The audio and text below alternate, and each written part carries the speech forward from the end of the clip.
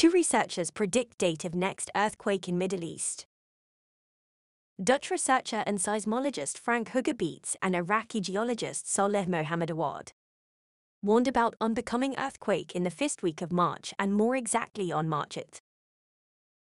A convergence of critical planetary geometry around 2 and the 5th of March may result in large to very large seismic activity, possibly even a megathrust earthquake around 3 to the 4th of March or 6 to 7 March.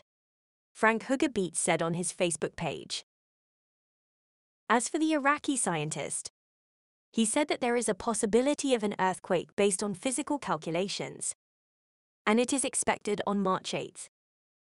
But it will be less devastating than the earthquake in Turkey and Syria, which occurred on February 6. He explained that the prediction of the earthquakes is based on a set of indicators and calculations, and accordingly advice is directed. An earthquake occurs in a specific place, and the concerned authorities can take it or not. The Anatolian plate is weak and dangerous.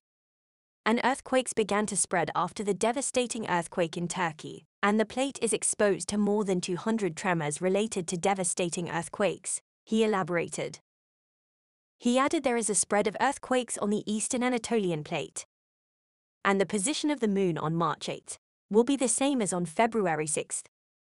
But the next earthquake will cause less casualties due to the distance of the planets Venus, Jupiter, and Mars.